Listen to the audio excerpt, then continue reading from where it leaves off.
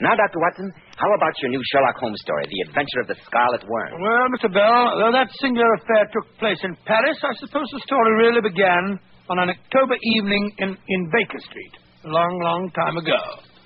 I'd been more than usually busy with my practice that day, and I returned to our lodgings shortly after nine, I remember. As I entered the living room, Sherlock Holmes was seated at his side table, clad in his dressing gown and working hard over a chemical investigation. A large curved retort was boiling furiously in the bluish flame of a Bunsen burner. Finally, he brought a test tube containing a solution over to the table. In his right hand, he held a slip of litmus paper. You come at a crisis, Watson. If this litmus paper remains blue, all is well. If it turns red, it means a man's life. Good Lord Holmes, really? Aha. As I thought, it turns red. And now to send a telegram to Scotland Yard, and I need have no further connection with the case. Well, you didn't tell me that you were working on a new case, Holmes? It was a shoddy little affair, my dear Watson. An orthopedic shoemaker in Wapping became somewhat fretful with his wife. He added poison to her morning pot of tea and was stupid enough to leave a sample of the deadly brew. It was purely a routine matter. Let's forget it. You look tired, old chap. Yes, I'm busy day. I hope you won't be too tired to accompany me to Paris tomorrow. To Paris? Why? This afternoon I received a very rare visitor in these rooms, my brother Mycroft. All is not well at the Foreign Office. They need our help. Oh, what's wrong, Holmes? An international spy ring is at work. In the past few months, important secrets have leaked out. Vital secrets that might bring this country to the verge of war. Good gracious me. Two of the Foreign Office's brightest young men have committed suicide rather than divulge how they betrayed their trust. Mycroft tells me he has reason to suspect a beautiful and dangerous young lady in Paris who inspired these men, uh, in these men, a loyalty even above patriotism. And they want you to try and trap her, is that it? No, Watson. They want us. Oh, oh us. Mycroft and I agreed that you would be perfect bait to use in such a trap. Bait? Makes me sound like a piece of cheese. Only metaphorically, Watson. You must agree that your imposing appearance, your open countenance, and hearty manner would attract the attention of any female spy. Yes, I see what you mean. Perhaps you're right. In any case, we shall make you doubly desirable by entrusting you with uh, uh, certain invaluable naval secrets. Masterly, Holmes, master. You'll entrust me with utterly worthless documents, spread the story that they're valuable, and uh, wait for the woman to approach me. Precisely. I shall accompany you as a bodyguard, but uh, leave you largely to your own devices. Yes, Watson, I have high hopes of this trip to Paris.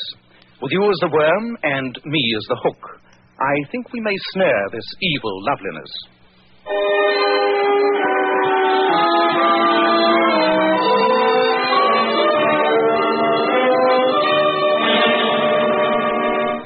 Holmes, Dr. Watson, you have shown me your credentials and explained your mission. We are aware of this firing. We are on constant watch. But I think you would have done better to have stayed in your own country. We of the Paris police are perfectly capable of handling such an affair ourselves, I assure you. Inspector Rigaud, the fact remains that two Foreign Office men died here under sinister circumstances. Hmm, yeah, nasty business, you know. British officials. Monsieur, I myself investigated the deaths. They were both self inflicted. We of the Deuxième Bureau cannot fathom the mind of a suicide. Quite. But I doubt if the deaths were coincidental. Surely there must be some connecting link between them, Inspector? The only facts I can give you, monsieur, are these. Both men frequented an American owned gambling casino in Montmartre. The name of it, please? Slater's on Rue Fontaine. The only other fact I can give you is that both the dead men were seen there in the company of a certain Mademoiselle Elvira. Ah, that must be the woman that Mycroft spoke of. Can you describe her, Inspector? Oh, what a woman. Although she is very young, princes have dueled for her favors. What? At the moment, a high official of the Banque de France lies in a prison cell because he appropriated funds that he lavished on her. She is a femme fatale, messieurs. But she is as elusive as the wind. Well, Watson, our first move is obvious. Tonight we shall visit Slater's gambling casino on the Rue Fontaine and try our luck.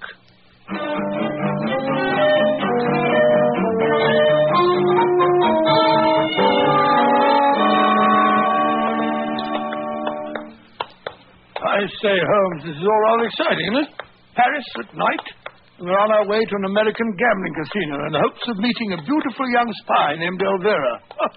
Just like a novel. Quite.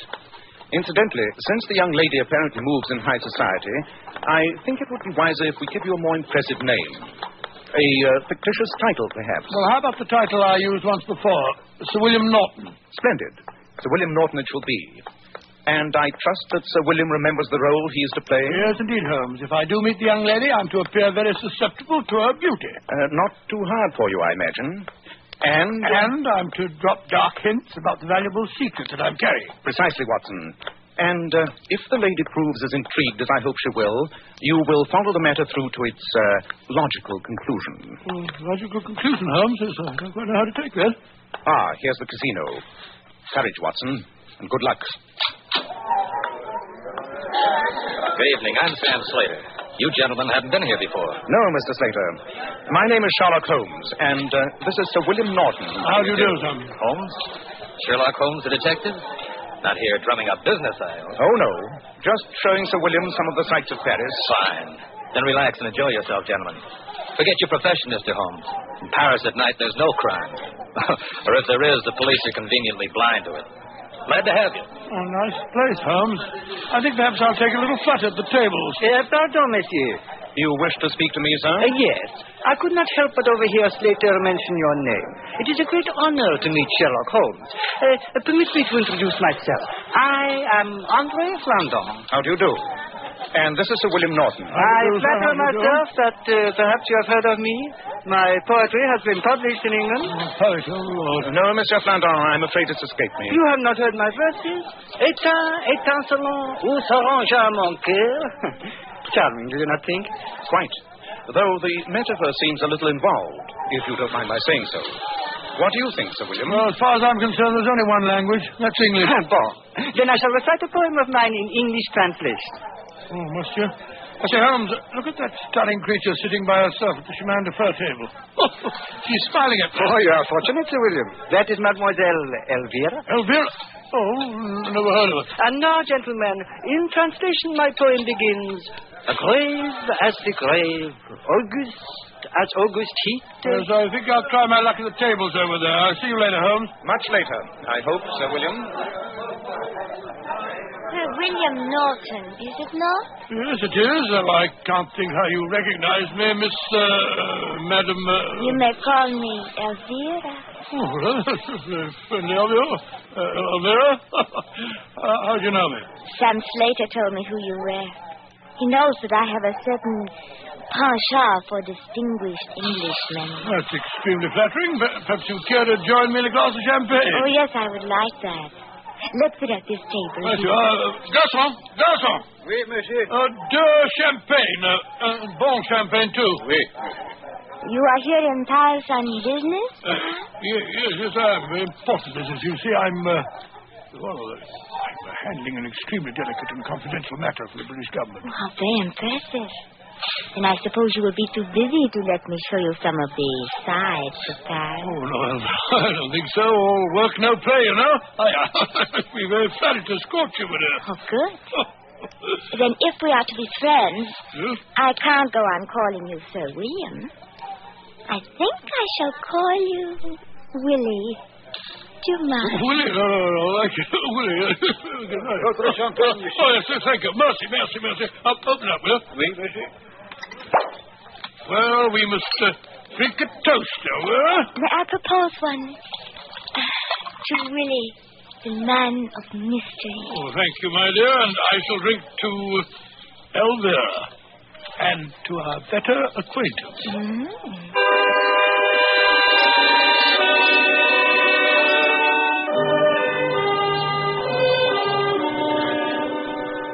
Good night, Willie. I shall see you tomorrow. Yes, rather. Uh, how about how about breakfast? Oh, it's nearly breakfast time now. Oh, really? Really? How about lunch? yes, yes, of course, my dear. But your important mission for the British government. Uh, when will you attend to that? Well, in a day or two, Elvira. Uh, good night, my dear. Come here, Willie. Closer. Good night. What? You, you kissed me, you little darling. Thanks awfully. You're doing splendidly, Watson. Splendidly. Keep it up. Oh, she's a sweet little thing, Holmes. It's hard to believe that she's a spy. I told her that I was here on a secret and confidential mission. I even told her that I was carrying important naval plans. She didn't seem particularly interested. Of course not. She's much too clever to use the clumsy approach. She'll work slowly. She'll wait until she thinks she's got you completely captivated before she goes after that secret. Oh, then I'm just to carry on the way I did last night. Yes, old chap. Oh, good. Wine her, dine her, send her flowers, buy her jewelry, make her think you're head over heels in love with her. I suspect that you won't find the job too unpleasant. Oh, I'm sure I shall.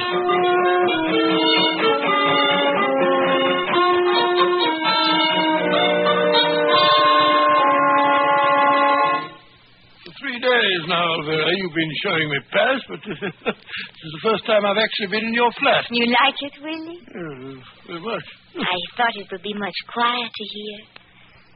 At dinner, you said you were going to explain some of your important business to me. You were going to show me what a secret treaty looks like. Yes, I know I said that, but uh, Elvira, a pretty girl like you wouldn't be interested in, in such matters. Oh, but I would. You have the treaty with you? Yes, I have. Then please let me see it. Oh, please, Willie. I can't go through this masquerade any longer. Masquerade? What do you mean? Well, I've, I've grown really fond of you in these last few days, Elvira. I can't let you walk into a trap. Trap?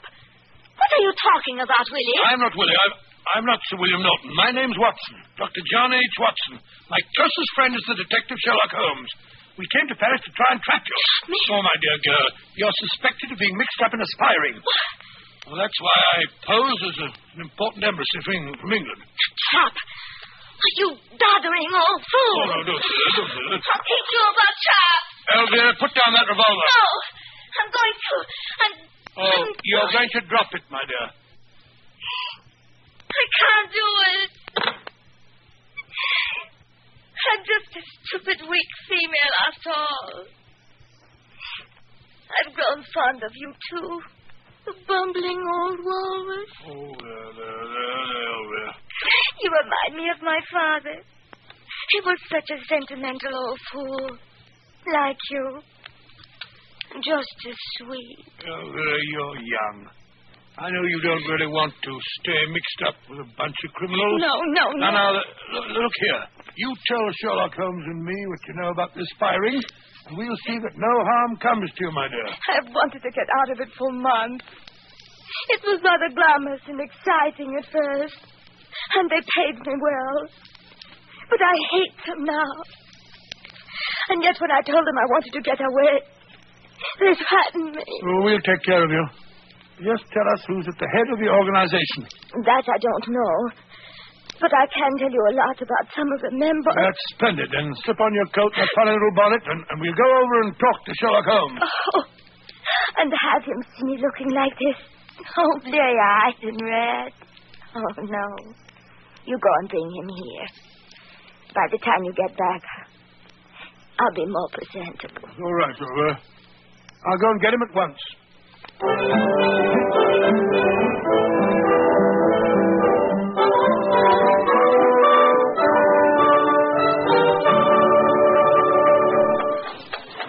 Watson, I'm occasionally astonished at the many facets to your character. Oh, thank you very much, Holmes. It's nice of you to say so. Your personal charm has apparently convinced a dangerous woman that crime does not pay.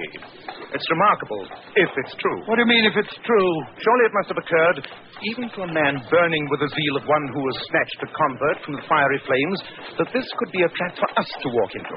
The delay while the young lady makes herself presentable would provide an excellent opportunity for her to summon her Oh, associates. upon my soul, Holmes, you're utterly cynical. I don't believe you have a heart. Possibly not, but I do have a head. Well, here's our place now. Stop, cabby, stop. Arrêtez. Oh, I bet you a hundred pounds to a shilling that she's still waiting for us and alone. Long odds, Watson. Very long odds. Look, look, look. The concierge is sweeping up the steps. He'll be able to tell us if anyone's been here since I left. True. Uh, bonsoir. Bonsoir, monsieur. Vous parlez anglais? Yes, monsieur. Splendid fellow, Paul's on there. Uh, look here, we were, we were calling on Mademoiselle Elvira. Has anyone been to see her in the last half an hour? Oui, monsieur. A man. She left with him only five minutes ago. Though I do not think she wished to go. You mean that she was taken away by force? Not exactly, monsieur. But I could swear on the Sacre Coeur that the man who accompanied her was holding a pistol to her back. You don't mean it. I uh, think she has been, uh, how you say, kidnapped.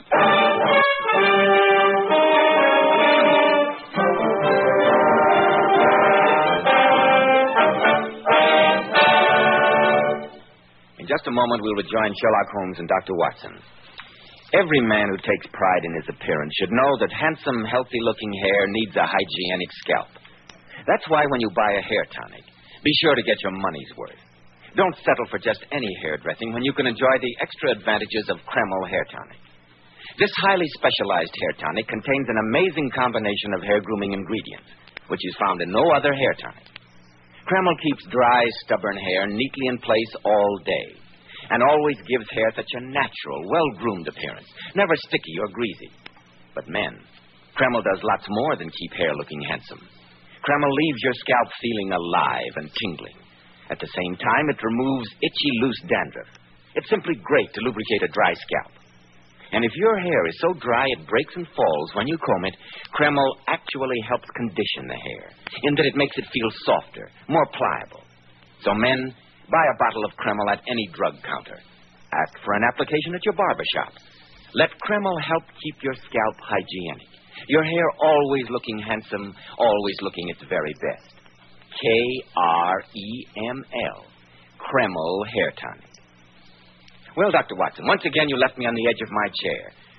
So when you went back to the girl's flat, she'd been kidnapped, hmm? What did you do next? Well, fortunately, the concierge was able to give us a good description of the cab driver, and with the aid of Inspector Rigaud, we were able to find the man and question him. He'd driven the couple, he told us, to a Valapache den in the alleys of Montmartre, uh, a club known as the Scarlet Worm. Holmes and I, accompanied by the French inspector, lost no time in taking a cab to the place. Monsieur, I should not permit you to visit Le Ver Écarlate, the Scarlet Worm, as you would say, without my protection. It is a cesspool of the underworld. Men have been known to enter there and make their exit by back door. It first into the sewer. Good Lord, they've taken that poor little girl there. Inspector Rigaud, as I said, Mademoiselle Elvira told my friend that she does not know who is at the head of this organization. Have you any suspicions? Yes, but little else, my friend. One thing we are sure of this man of mystery, the brain behind these criminals, is not French. Probably he is English. An Englishman, or so sure not? Ah. Le Ver Écarlate is waiting for us. Be on the alert, my friends, and keep close to me. I told you we didn't want to do it. You'll have to come around. Oh, there's Sam Slater, the man who, who owns the casino we went to the other night. Yes, and he seems to be involved in a violent argument. Yeah, a rattle like this, you don't know what you're doing, Shepard. What's up? You know what you in here? Stay in your own golden pigsty. Who's the man that Slater's arguing with, Inspector? That is Chabert, the owner of this Oh, establishment. Slater's leaving. I wonder what he was doing in a place like this. Uh, come, we'll speak to Chabert and find out. Eh, bonsoir, Chabert. Ah, bonsoir. Ah, I am honored with a visit from the inspector, the detective. Que voulez-vous? Since when does a visitor from the Deuxième Bureau have to explain his business, Chabert? Tell me, why was Slater here? And why did you argue? Ah, sure. He comes here to try and hire some of my attache. He has trouble collecting his gambling debts. I spit on him and his high-class victims. Let the kind stick to themselves. And not bother the peddler. Pleasant fellow. Let's sit at the table, shall we? Might as well be as unobtrusive as possible. I shall rejoin you in a moment, monsieur. I wish to make some investigation. Watson, you seem to be a positive magnet towards the fair sex. Look at this uh, young lady heading for you. Red hair, a beret, and a painted face. Not my type, I'm afraid. Bonsoir, monsieur. Voulez-vous m'offrir un apéritif? Uh, run along, young lady, and don't sit there. Oh, no, no, Watson. Where's your chivalry? Please sit down, won't you? Merci, monsieur. Pretend you don't recognize me. Yes, I me. don't. Never saw you before in my life. Whereas I've been keeping silence, Mademoiselle Elvira. Elvira. The wig is excellent and the use of makeup superb, Mademoiselle. But I recognized you at once by the conformation of your earlobes. Elvira, why are you disguised? Why'd they bring you here? I cannot speak now. You must get me away at once. Be careful. I'm being watched. We can't leave by the front way, but I know a back staircase that leads from the cellar. But there may be trouble. You take her, Watson. I'll guard the retreat. When the music starts again, dance with her. When you get to the back of the hall, slip out. I'll join you at the hotel. Oh, look, look, look, Holmes. Look who's coming to our table. It's that ghastly poet fellow we met at the casino. Andre Flandin. Pay no attention. I'll take care of him. Ah, once again, I meet my friend Sherlock Holmes. I have a new poem that I've composed in your especial honor. Dance, Watson, and good luck. Right you are, Holmes. Come along, my dear. Come along. Your friend, please. Au revoir. Now, I shall tell you my poem. It begins. Oh, Vera, my dear, I can't tell you how relieved I am to find you all right. Don't look so serious. Pretend that I'm some girl that you don't know. Laugh. That's all right. That's better. Now dance me toward that door in the corner. There we are. Now, let's slip through it. Can't see a thing. Follow me. There are stone stairs here. Careful. Where do these lead? To an alley. Oh, Careful. The stairs turn here. God, there's, there's a light coming up the steps towards us. You did not think you could live so easily, did you, Elvira? Uh, I've been waiting for you. Look out, he's got a But knife! he can't see without his lantern. Where's that path? Run, Elvira. I'll follow you. Run, run, run. You will follow her! Oh, won't I? How'd you like that, you filthy swine? Watson, are you all right? Yes, Holmes, I'm quite all right. Then run, old chap. I'll take care of this end. See that the girl is safe.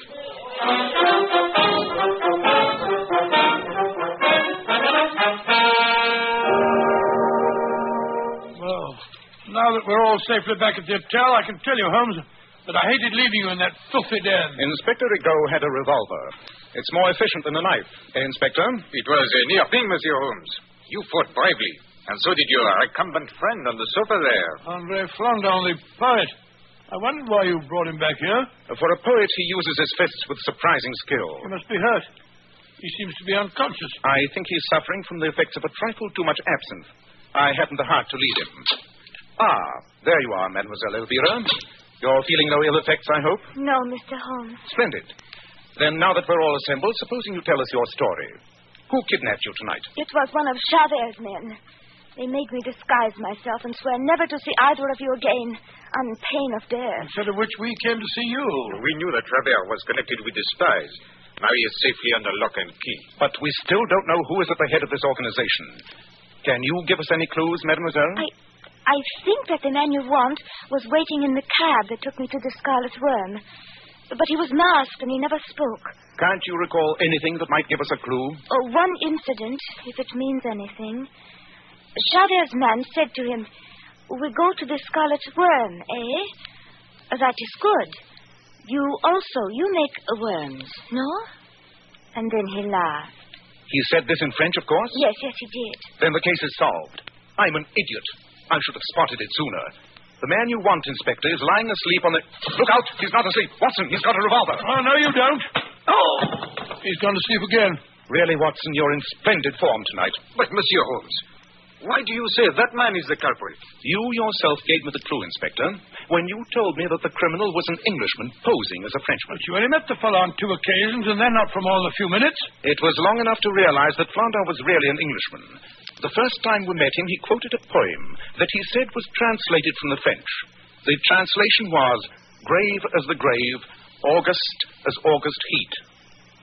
The poem could not have been translated from the French because both of those puns are possible only in the English language. But how did my repeating the conversation in the cab uh, give you a clue, Mr. Holmes? Because it was another pun. In French, the word for worms and for verses is the same. There, spelt V-R-S. I see it now. When the man in the cab said, You make worms, he also meant, You make verses. Precisely, Watson. And thereby pointed directly at the poet there. With Andre Flandin, or whatever his real name is, in prison, I'm sure Mycroft will have no more trouble with his spying.